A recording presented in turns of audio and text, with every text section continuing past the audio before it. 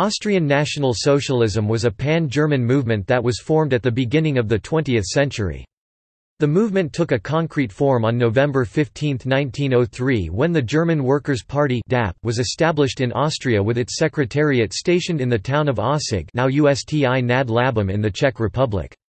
It was suppressed under the rule of Engelbert Dollfuss (1932–34), with its political organization, the DNSAP. German National Socialist Workers' Party, banned in early 1933, but revived and made part of the German Nazi Party after the German annexation of Austria in 1938.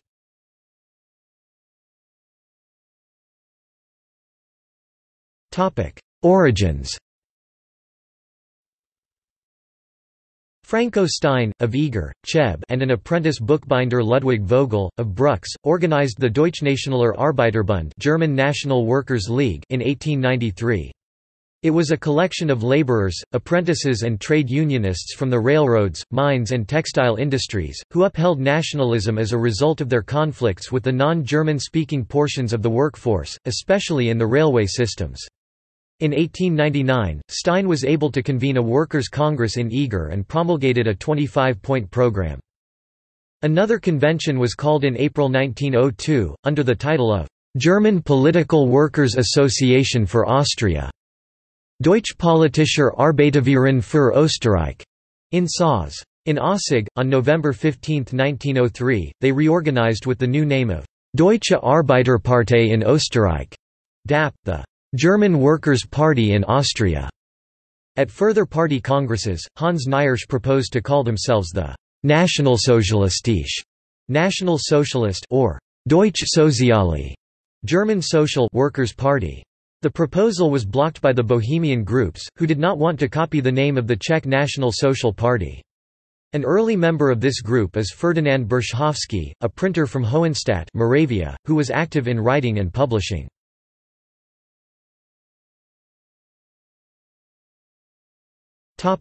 DNSAP At a party congress in Vienna in May 1918, the DAP changed its name to the Deutsche Nationalsozialistische Arbeiterpartei and produced a National Socialist program, which is thought to have influenced the later German Nazi Manifesto. The Austrian DNSAP split into two factions in 1923: the Deutschsozialen Verein (German Social Association), led by Dr. Walter Riehl, and the Schulz Group. After 1930, most former DNSAP members became supporters of the German NSDAP led by Austrian-born Adolf Hitler, and were one of the chief elements leading the pro-Nazi coup in 1938 that brought about the Anschluss of Austria with Germany. Leaders of the party, who were dubbed Landesleiter due to the recognition of Hitler as overall Führer, included Alfred Proksch (1931–33), Hermann Neubacher (1935), and Joseph Leopold (1936–38). Although real power frequently lay with Theodor Habicht, a German sent by Hitler to oversee Nazi activity in Austria.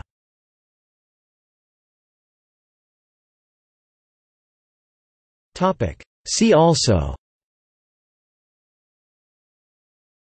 Nazi Party Austrian SS Austrofascism Weimar timeline